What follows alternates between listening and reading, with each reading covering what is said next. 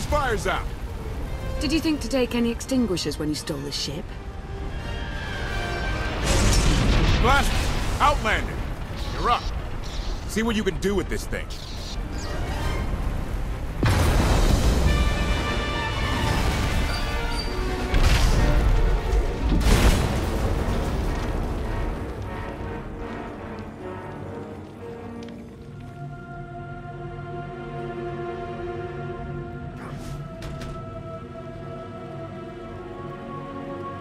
That's two more shuttles you owe me.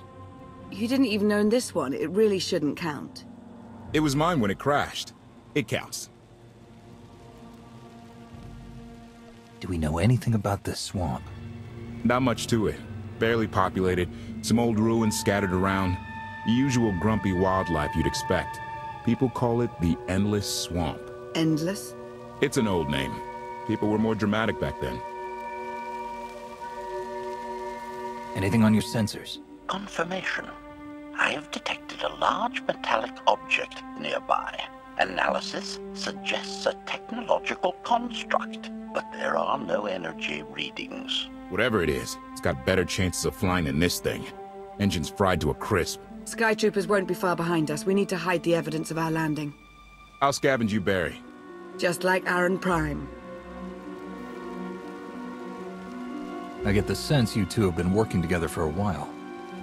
Long enough. I know you have more questions than answers, but we should really keep moving. I promise I'll tell you everything I can as soon as we're safe. Enthusiasm. Shall we investigate the technological object? I believe I can guide us to its location. Very well. Admiration. It is a great pleasure to witness your skills firsthand, Master. Master? Clarification. Master Beniko altered my programming before we secured your release. I am to serve you with the same unexcelled loyalty with which I serve her. In fact, your survival is now my highest priority. I'm no more important than Lana or Koth. Don't prioritize me above them. Concession. I will alter my prioritization as you request, Master. Gossip. You are just as selfless as I had been led to believe. Resumption. Shall we continue?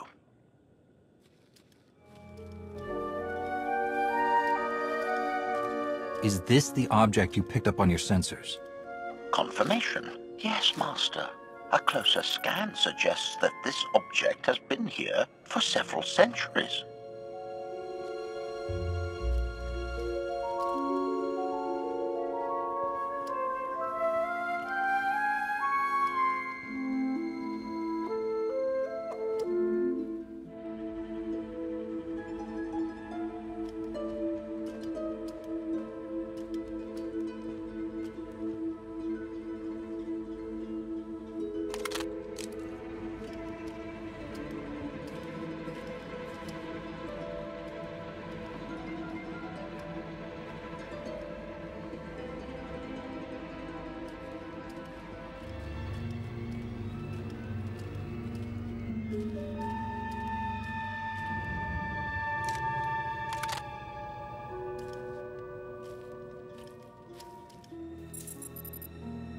Centuries? Of all the junk out here, you had to find the antique. Observation. Visible design elements do not match any from Zakuulan culture, antique or modern. Not from Zakuul. Could it be?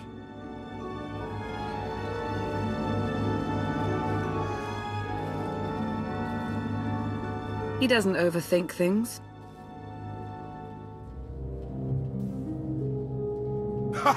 Do you have any idea what this is? It looks like some kind of old spacecraft. This is the gravestone.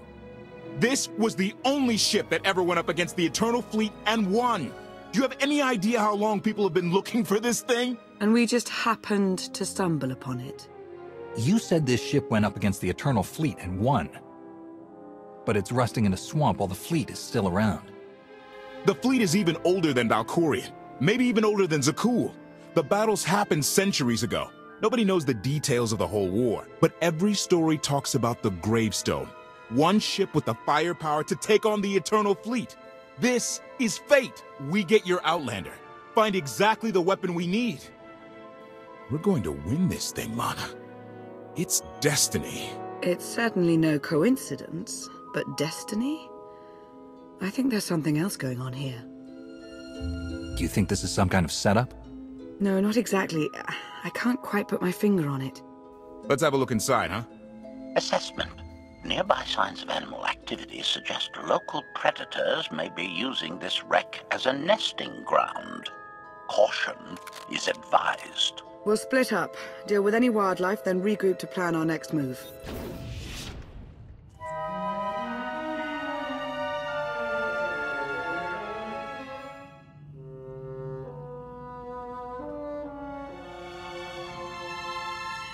The endless swamp.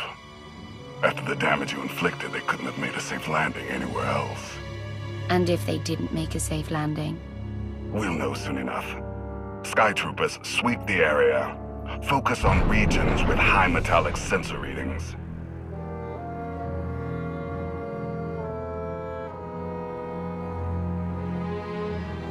I oversaw security in the Carbonite prison.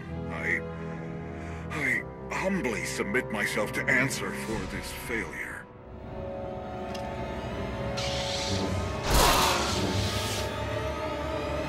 Sister. I didn't like his answer.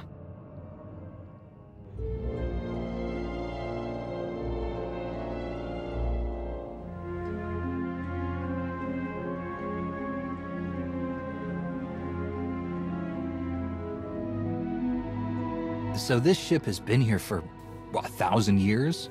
More? Right. It's amazing that it's in such good condition, considering. Judging by the damage I've seen, the stories are true. Whoever built the gravestone scuttled it themselves after the Eternal Fleet was defeated. It wasn't shot down. The fleet was defeated but not destroyed. Valkorion brought it back under his own control more than a century ago. Exactly. The Eternal Fleet is totally automated.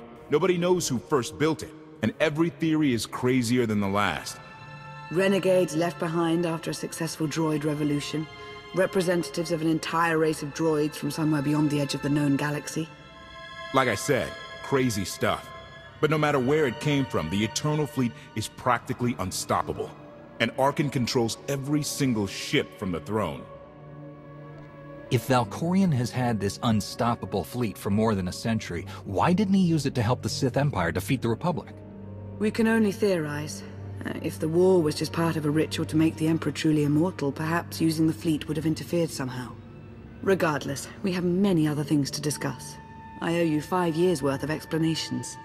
And I'm gonna need some parts to get this thing moving again. Locating supplies and fresh water would also be wise. I'll help you find what we need, Lana. Very well. Assertion. I will begin a patrol pattern to ensure that no enemy forces report our position.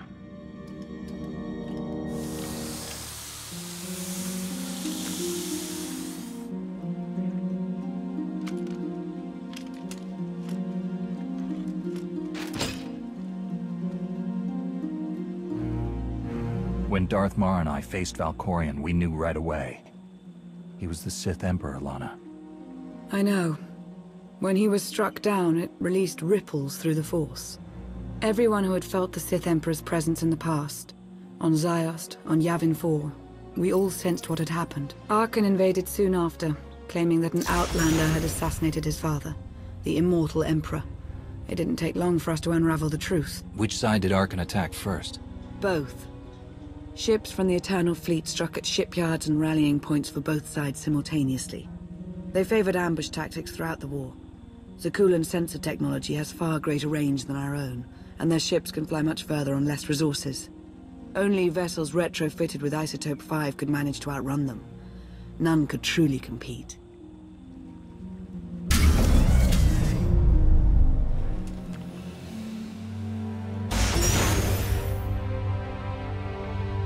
How long did the Republic and the Empire manage to hold out? Within three months, the bulk of our naval forces were disabled or eliminated, and the Republic was in the same situation. With naval superiority, Arcann's forces could begin choking off supply lines, trade, any ship travel at all. The Eternal Fleet seemed to be everywhere at once. Coruscant and Dromund Kaas were blockaded by the end of the first year.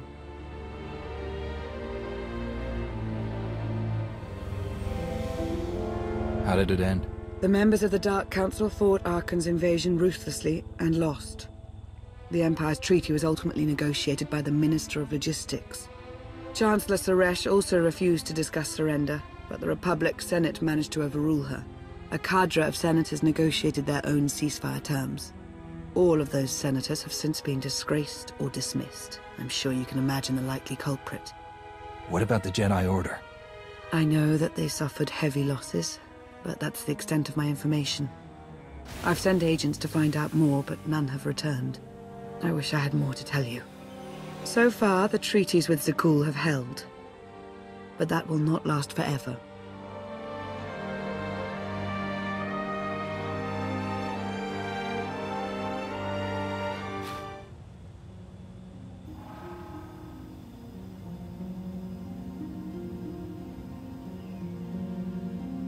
A freshwater spring. It should be safe for drinking.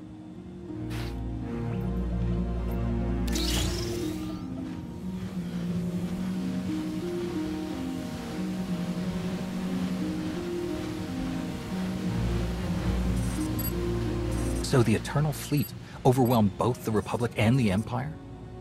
What was the result? Both sides are forced to pay a heavy tribute to Zakuul, mainly raw materials and resources. They're also held under an arms limitation statute. The Empire and the Republic are both breaking it, of course, but they're still incapable of challenging the throne directly. Who's in charge of the Republic now? Suresh reached the end of her term limits recently, but her replacement is a carefully selected puppet. She still runs things, even if she isn't officially the Chancellor anymore. And the Empire? Only one member of the Dark Council remained after the Chaos. Darth Acina. She now rules as Empress of the Sith. Both sides see this only as an opportunity to eliminate one another at a time of weakness, instead of combining what strength they have.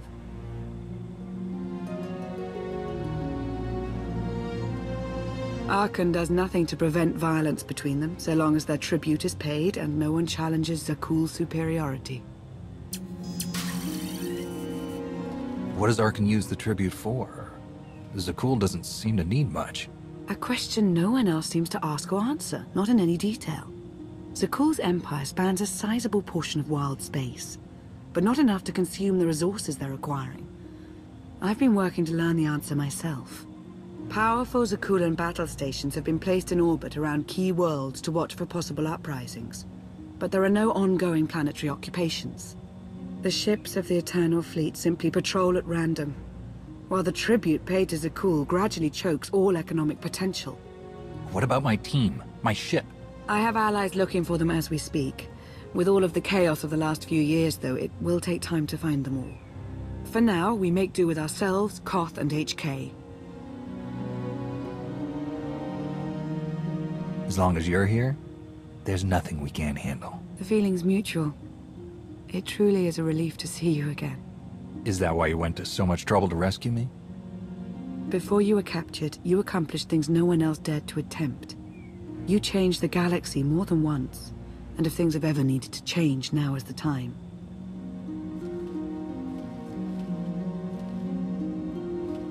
But there is something else.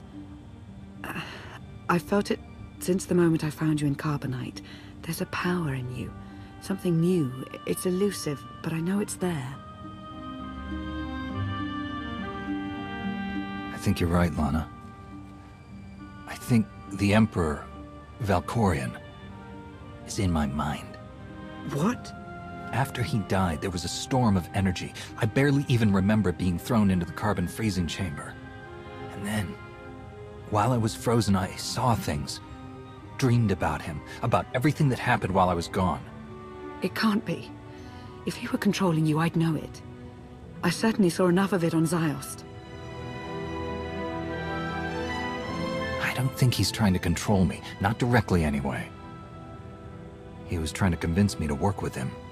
Whatever he's doing, we can be sure that he's always trying to deceive us somehow. I believe in you. And I appreciate your honesty. I'll remain watchful for any influence he might have over you. For the time being, though, we have no choice but to proceed. What about the others? They wouldn't understand. And like you said, we really don't know anything for sure yet. Let's keep the matter between us for now.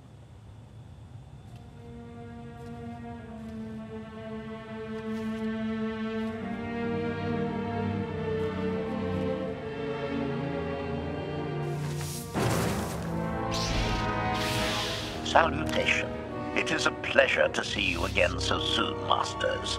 I have encountered minimal resistance in my patrol. How minimal? Reassurance. Only one Sky Trooper and three local predators with poor survival instincts. Our position appears to be secure at this time, but I would still advise caution on your return trip, Masters. Keep up the good work, HK. Appreciation. It will be my pleasure to do so, Master. Hey there. Did you find something tasty? We definitely found something. Great. I've got a pretty good idea of the parts we'll need. Let's go see what we can find. It's destiny. I ditch all these parts before we crash, we find the gravestone, and then what do we need to get it flying? Honestly, it's plain as day. Not for Lana, though. For her, it's all just skill and luck and coincidence. Relying on fate to get you out of trouble will always leave you disappointed. Better to rely on yourself. I can't believe you two. Just wait and see. I know I'm right on this. Lana's told me about all the things you've done. More than once. Half the reason I agreed to this crazy rescue was to see if you were actually real. So, I figure I know all about your past. You deserve to know mine. Lana might have told you I was the captain of a warship during Arcann's campaign against the Core Worlds. My crew and I deserted, but I'm not going to pretend we didn't do our share of damage beforehand. Just thought you should hear it from me. Lana mentioned that you deserted instead of following orders. What was the order? We were holding territory on Denon. Locals rioted and orders were to open fire until they stopped. None of us even wanted to be there. Massacring civilians? That's not how Zakuul is supposed to operate. Thank you for being honest with me. You and your crew made the right choice. Glad you think so. One more thing, as long as we're being honest. When you risked your life to shut that generator down, you showed me that you're someone I can count on. I want to take Arcann down, but we don't have to take down all of Zakuul with him. I'm glad to know you understand that too. Too many innocent people have suffered already. I'm not going to add to that. Thank you. Come on. Let's get this stuff back to the gravestone.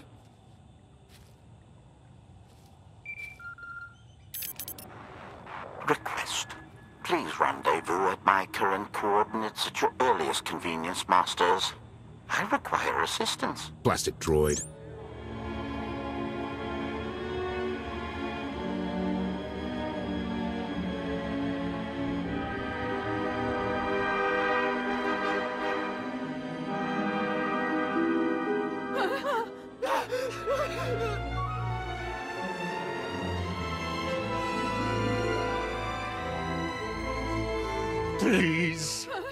Save us. What the hell is going on here? What did you do to them? Protestation. I have done nothing to these pitiable meatbags, Master. They were merely bystanders when I destroyed a group of Sky Troopers. They requested our help in escaping the enemy's notice. Please, we are no danger to you. We were exiled for protesting Emperor Arcann's war. We've already lost two of our friends. Please, is there anything you can do for us? We're repairing a ship with room for passengers. We can get you out of here. You're serious? That's incredible. Thank you. Thank you so much. We're doing the right thing. Thank you.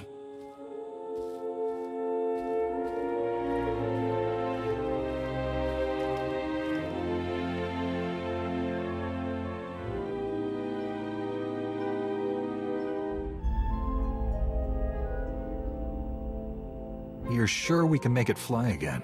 She'll fly. Just been waiting for somebody to come along and remind her how. Let's get to work then.